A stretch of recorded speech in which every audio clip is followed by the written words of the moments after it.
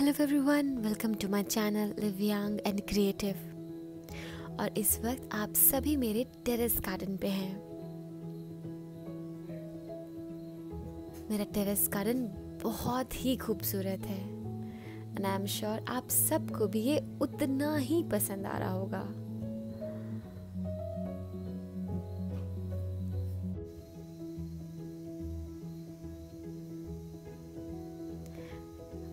छोटे छोटे colourful flowers इस पूरे गार्डन में मेरा फेवरेट पार्ट है।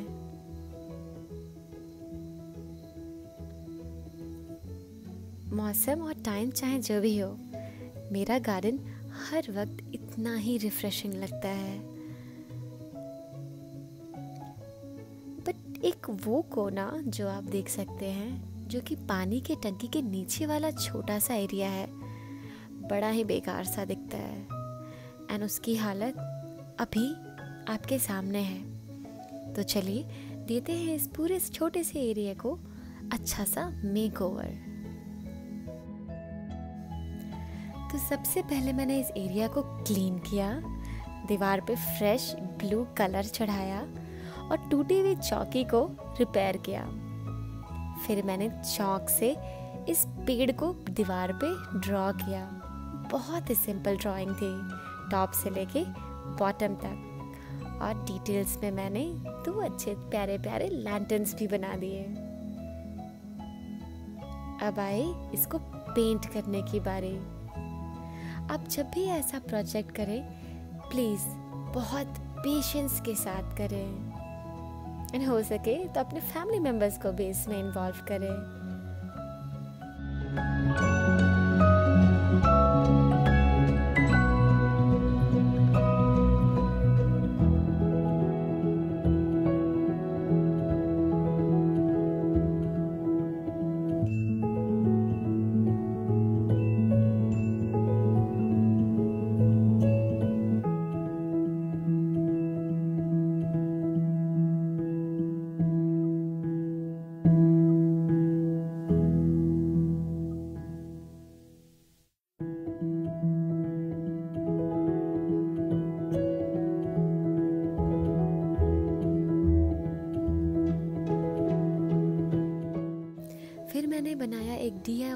बॉटल शैंडलियर अगर आपको ये पसंद आया तो आप इसका लिंक मेरे डिस्क्रिप्शन बॉक्स में ढूंढ सकते हैं, या फिर ऊपर दिए हुए लिंक पे भी क्लिक कर सकते हैं। ये बॉटल शैंडलियर्स बहुत ही प्यारे लगते हैं और रात में तो इसकी रंग बिरंगी रोशनी से ये पूरा एरिया एकदम से जगमगा उठता है।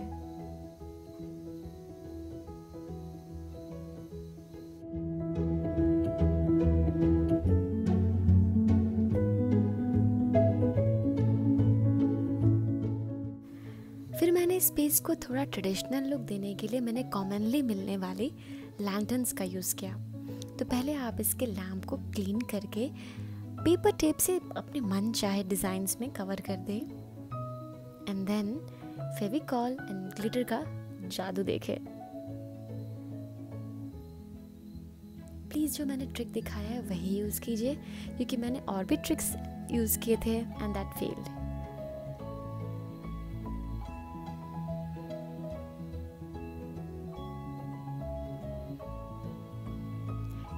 let this glitter dry और एक बार सूख जाने का वेट करें।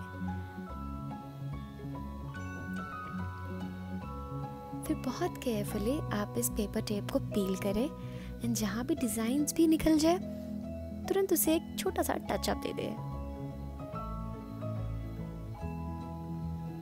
एंड यू आर डन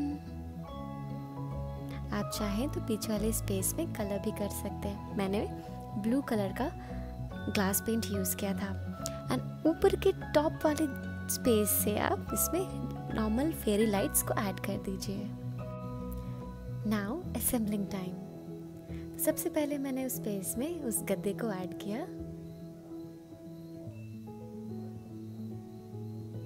ये कॉर्नर टेबल्स मैंने अमेजन से मंगाए थे। They are really cute and very nice and yes value for money Now let's plant the DIY hanging bottle lights. They're amazingly pretty. perfect.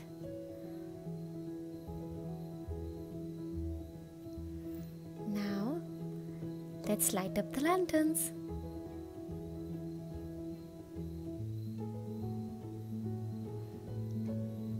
अब corner table को थोड़ा decorate करते हैं ये एक परफेक्ट रीडिंग कॉर्नर है। तो बुक्स तो होना ज़रूरी है। ये D I Y tape corner lamps मैंने खुद से बनाए हैं। यूजिंग दही हांडी, पूजा का डलिया एंड रिज़ल्ट आपके सामने है।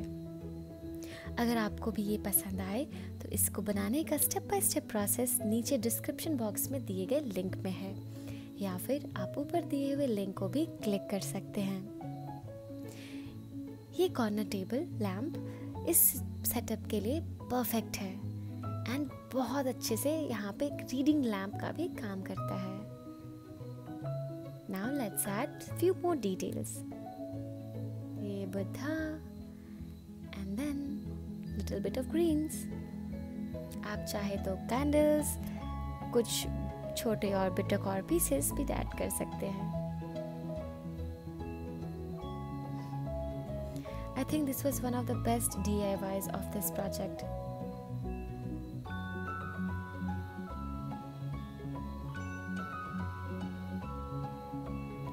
Now, let's make the space more comfortable. And my love for plant is unending. मैंने यहाँ पे भी दो plants add किए हैं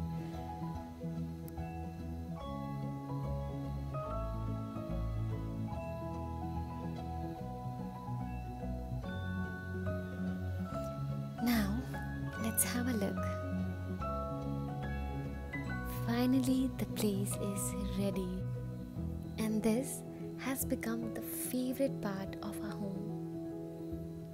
Everybody is loving this corner. ये एक extreme D I Y makeover था बट रिजल्ट्स मैजिकल हैं एक एक एलिमेंट को मैंने खुद से हाथ से बनाया है including this cheek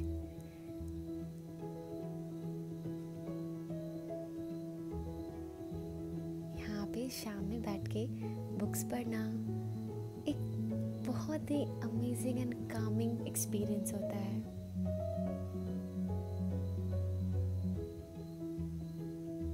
Beat this bottle lamps, this corner table, the wall, everything is handmade. Can proudly say I have made them.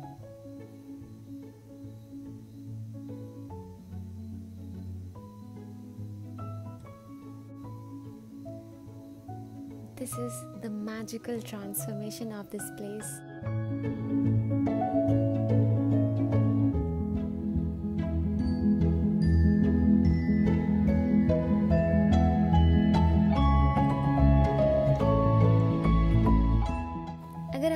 Video पसंद आया हो तो please like share and subscribe and also hit the bell icon